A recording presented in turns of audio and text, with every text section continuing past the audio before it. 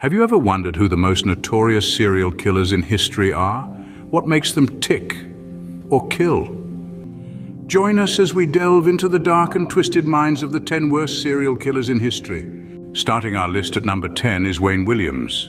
Emerging from Atlanta, Georgia, Williams is infamous for the Atlanta murders that shook the community between 1979 and 1981. Williams was officially linked to the murders of two adults, but Speculation and circumstantial evidence have tied him to at least 23 more, primarily young stars.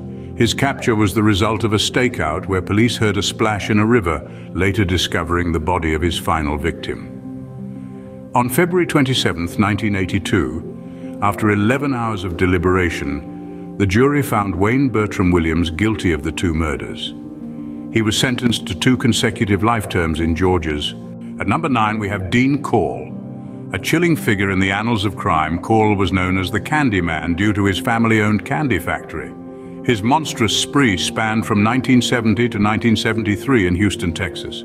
Corll, along with his accomplices, was responsible for the horrific deaths of at least 28 young men. His reign of terror ended abruptly when one of his accomplices shot him. A twisted tale of manipulation and murder, Dean Corll's story serves as a stark reminder of the darkness that can lurk within seemingly ordinary individuals. Dean Corll, a man whose atrocities are hard to comprehend. Number eight on our list is John Wayne Gacy. Known as the Killer Clown, Gacy was a chilling figure in American crime history. He preyed on young men, luring them with promises of construction work or by impersonating a policeman. His reign of terror spanned seven years, during which he took the lives of 33 young men and boys. The walls of his suburban Chicago home concealed the gruesome evidence of his heinous acts. Justice finally caught up with Gacy in December 1978. On the morning of May 9, 1994, Gacy was transferred to Stateville Correctional Center to be executed.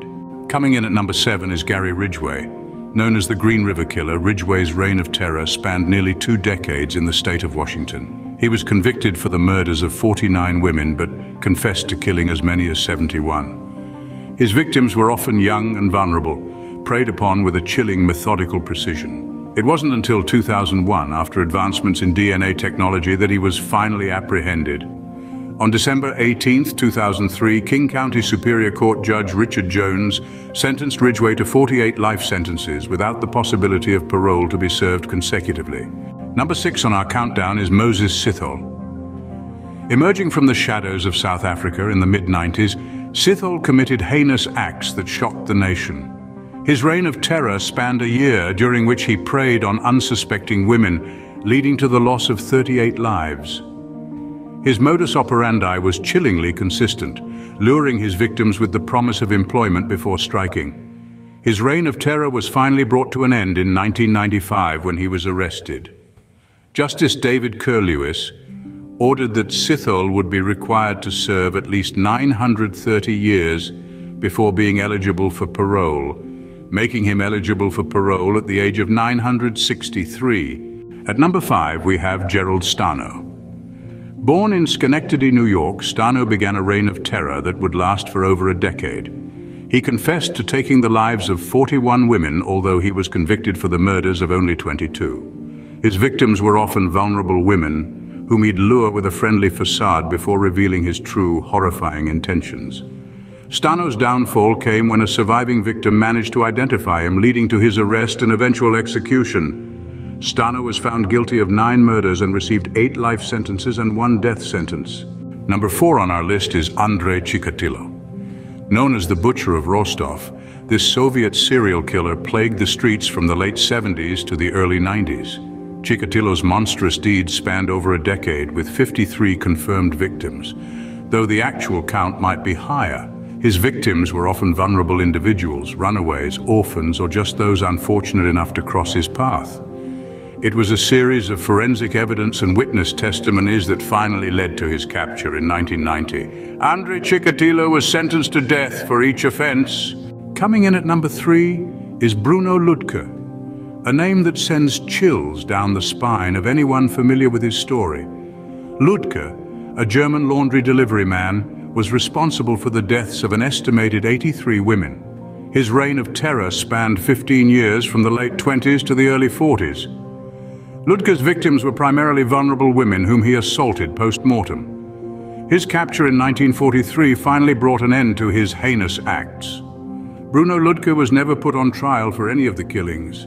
Declared insane, he was sent to the SS-run Institute of Criminological Medicine in Vienna, where medical experiments were carried out on him until his passing. Our runner-up at number two is Henry Lee Lucas.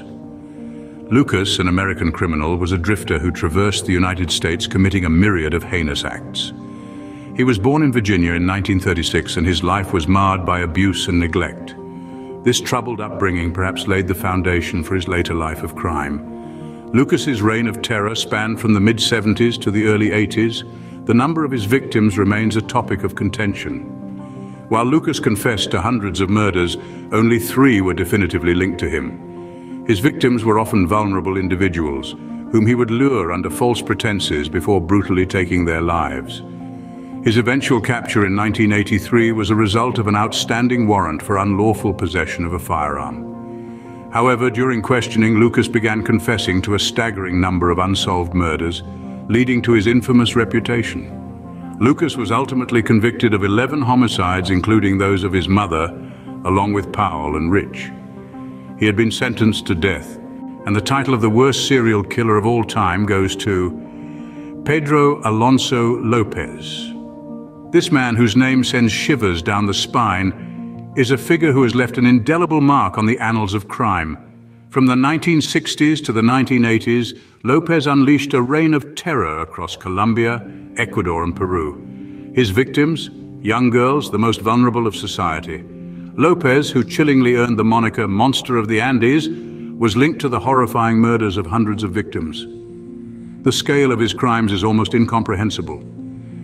His eventual capture in 1980 came as a relief to a region living in fear. Yet the story of Pedro Alonso Lopez does not end with his arrest. Despite the monstrous nature of his crimes in 1980, Lopez was convicted of murder and sentenced to 16 years in prison, the maximum prison sentence available in Ecuador at the time. What do you think of the sentences they received? Leave us a comment below. We explored the horrifying spree of Moses Sithole, South Africa's worst serial murderer. We studied the cold-blooded nature of Gerald Stano, Andrei Chikatilo, Bruno Ludke and the enigmatic Henry Lee Lucas.